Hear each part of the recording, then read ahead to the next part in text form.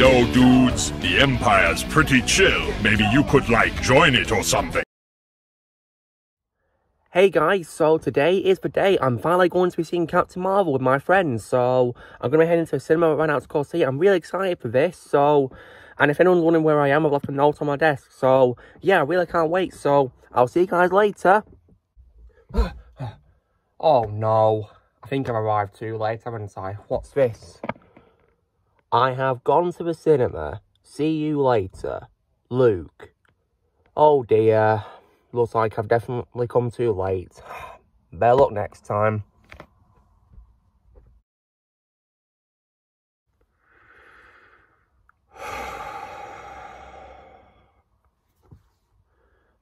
Why did I leave before my future self could warn me? I could have saved myself lots of pain. Oh, man. Hmm. Hey, everyone. Lukimus Prime here. So, as you've probably seen by, by the title of today's video, it's time for another trash talk.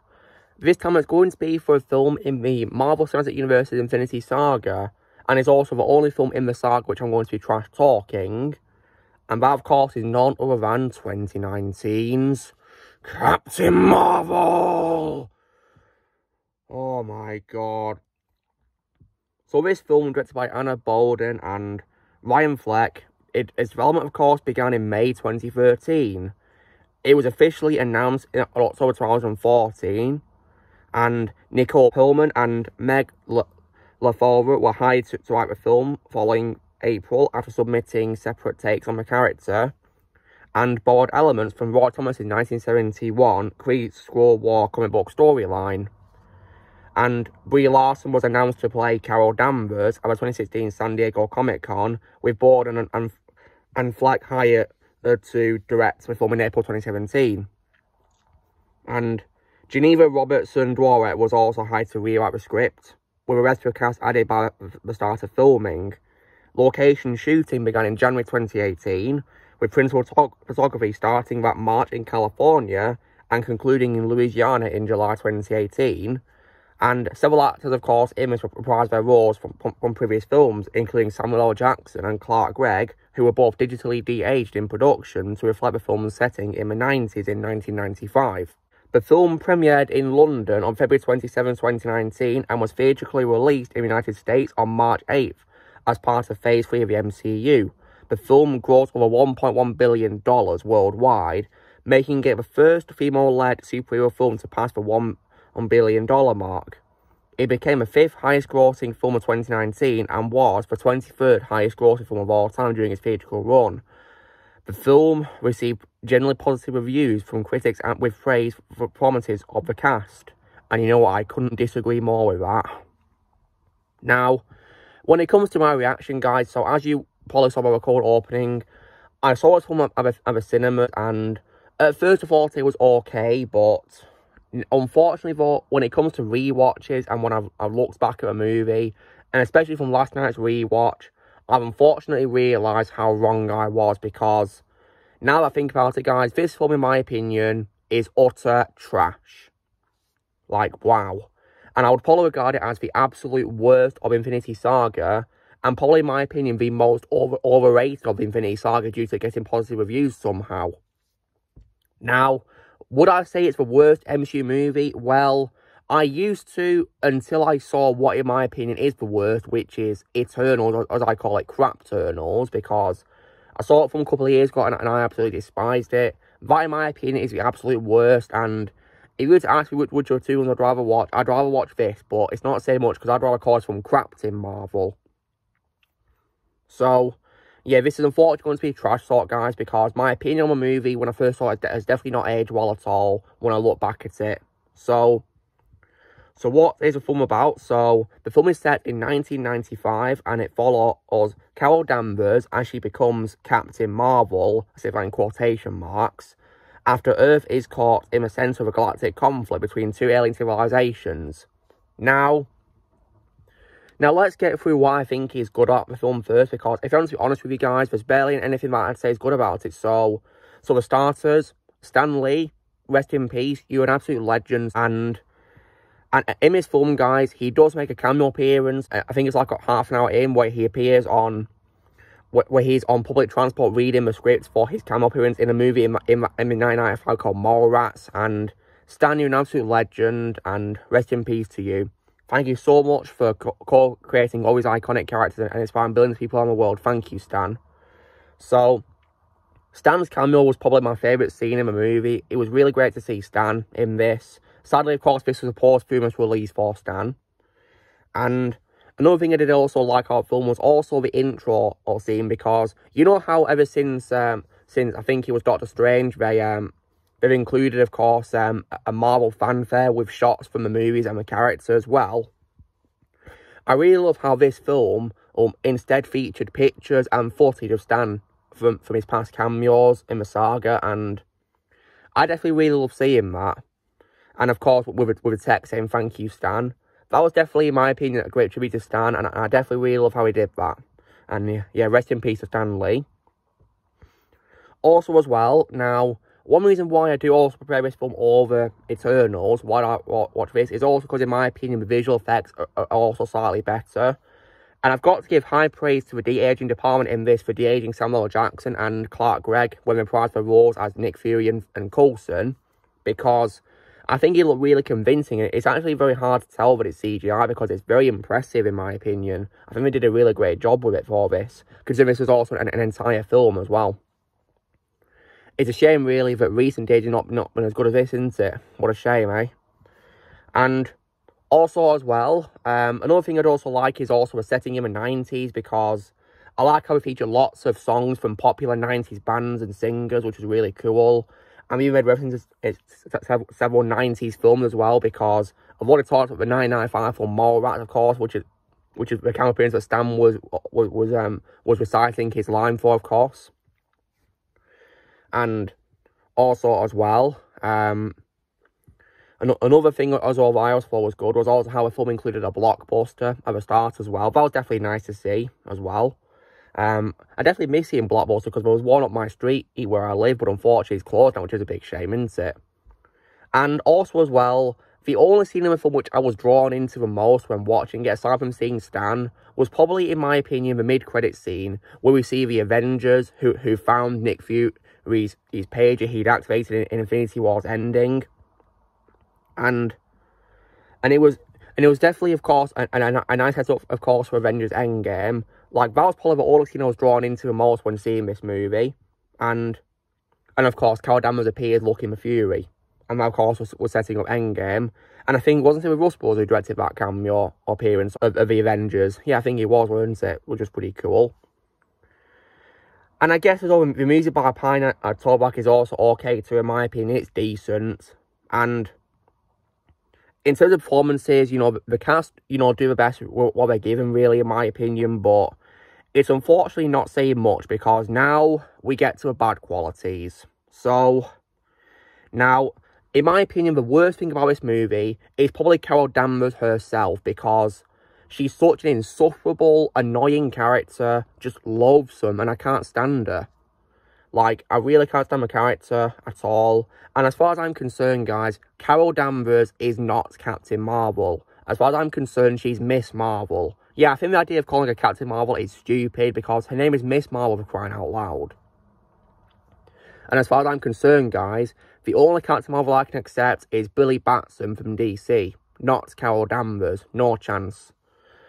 And and what I think is also annoying is how she literally has the exact same miserable face for pretty much the whole movie.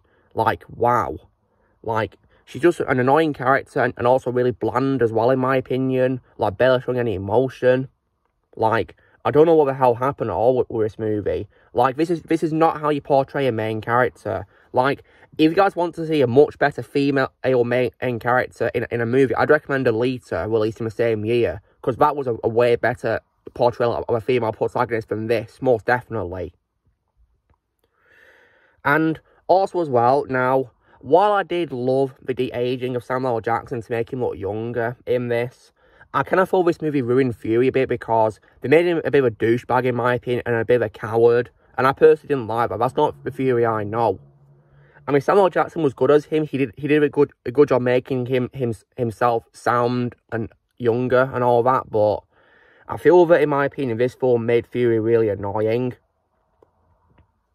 And also as well, now, when it comes to a film's villain, I think it's really dumb how this film can't decide what villain it, it wants to have because it starts off with, we were thinking the villains of a film of the Skrulls, which of course they are in the comics, right? But it's revealed towards the end uh, of the film that the villain all this time, of course, is is the Star Force member as on, on Hala with the Kree. So, like, what? Like, that doesn't make any sense at all.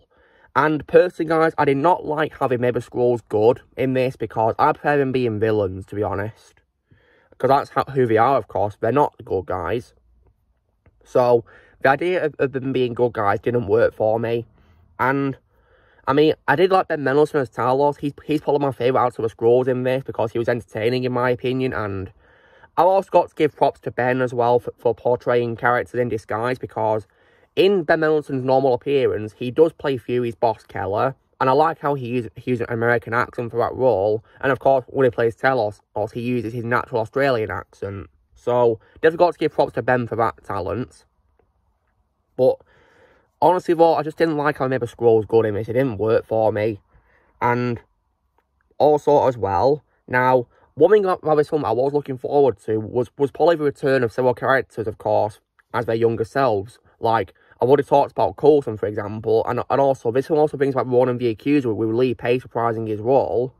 And, unfortunately, however, they're both hardly in the movie, and that really just disappointed me. I mean, when it comes to the Skrulls, I only liked them in, in the first half of the film where they're hostile. That's the only time I liked them in this, but once they revealed to be good, it all went downhill for me. I mean, one example when I liked was, was following when one of them impersonated Coulson. That was actually, you know, a pretty cool tactic in my opinion. But I do wish we got to see more of Coulson, though, in this. Um, especially because I, I, missed him a lot after he, he unfortunately got killed in, in the first Avengers movie. I was hoping we'd see him again in other, other films, but sadly not. But when we finally got to see him in this film, he barely appeared. Thankfully, of course, I did see him in Agents of S.H.I.E.L.D., which, which was a great show. He was in as a main character, but yeah, I didn't like him in this film. He was underused. And also, when it comes to Ronan as well, I also didn't like how he was also underused because he barely appeared in the film. Only, only had a fair few scenes, which is just disappointing. And of course, he's got a different appearance because he's not got his makeup on that he, that he wears in the first Guardians of the Galaxy film yet, because this is a prequel, of course. But I was so disappointed that they, they really underused Ronan. And when it comes to others who return as well, um, we also got to see Djimon Hounsou come back as Korath, but unfortunately he was also underused too, which I also did, did not like. And I also feel that several characters in this were also, in my opinion, underdeveloped as well, like many of them, in my opinion.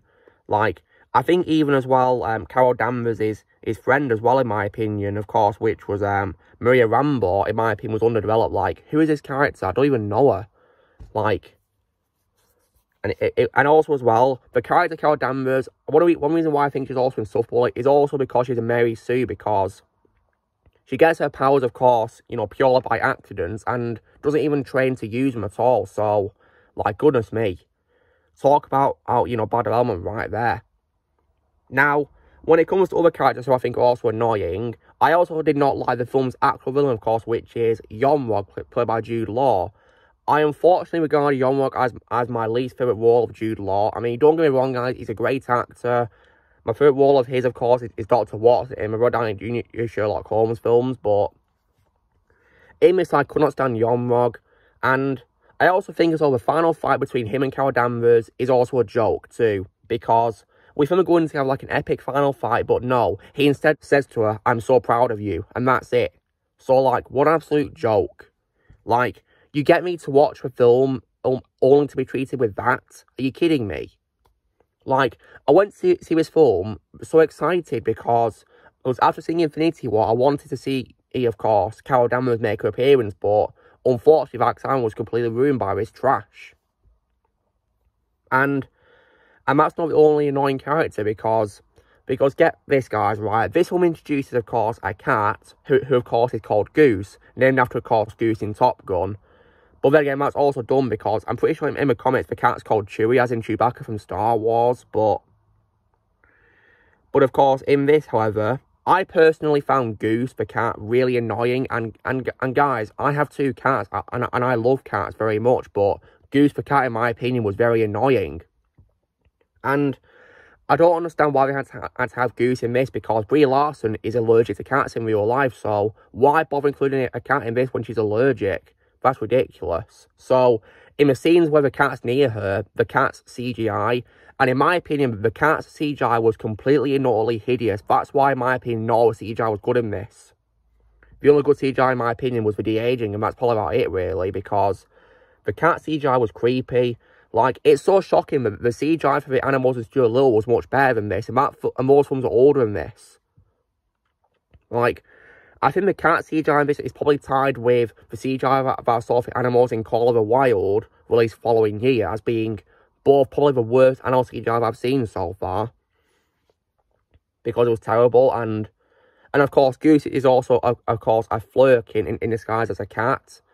And also as well, guys, one thing about this film in terms of story which I thought was extremely dumb and really angered me, actually the first time I saw this, was I hated the revelation of how Fury lost his eye.